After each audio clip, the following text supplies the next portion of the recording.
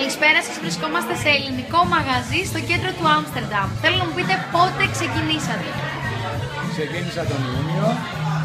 Εγώ έχω ένα χρόνο εδώ ακριβώς.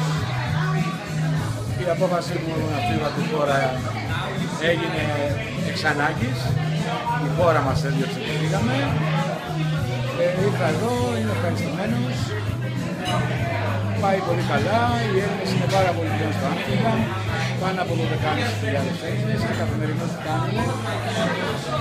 Και τους στηρίζουν τα ελληνικά μαγαζιά, γιατί έχουν και άλλα ελληνικά μαγαζιά στο Άμστερνταμ. Είμαι ευχαριστημένος από τη χώρα αυτή με φιλοξενία αυτή τη στιγμή. Η ονομασία Σαντορίνη που δώσατε στο μαγαζί σας. Σαντορίνη είναι ένα μέρος πανέμορφο από τα αερόδρια του κόσμου και είναι γνωστός σε όλο τον κόσμο.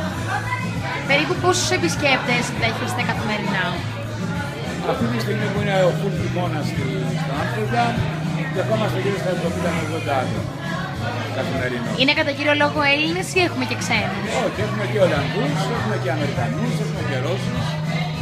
Ε, οι πιο πολλοί μας πελάτες είναι Έλληνες και Ολλανδοί. Σήμερα που είναι Τσεκνοπέμπτη και είναι μια ιδιαίτερη μέρα για τους Έλληνες, τι έχετε ετοιμάσει; Σήμερα είναι γεμάτοι Έλληνες στο μαγαζί και έχουμε ετοιμάσει τσίκνα.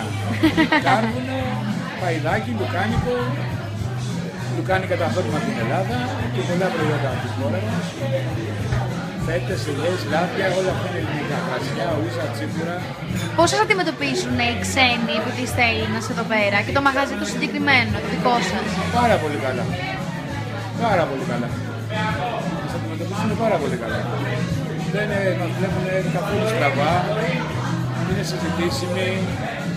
Ξέρουν το πρόβλημά μας, της χώρας δηλαδή. Αλλά δεν γεννιόνται να τις θέσουν μας- και να μας αντιπαθούν δεν μας το δίνουν. Οι τιμές περίπου πόσο κυμαίνονται; Οι τιμές κυμαίνονται από 10 ευρώ το άτομο μέχρι και 70 ευρώ το άτομο. Μάλιστα και η μουσική, εξ ολοκλήρου ελληνική; Εξ ολοκλήρου ελληνική, εξ ολοκλήρου. να σας μετακινήσω λίγο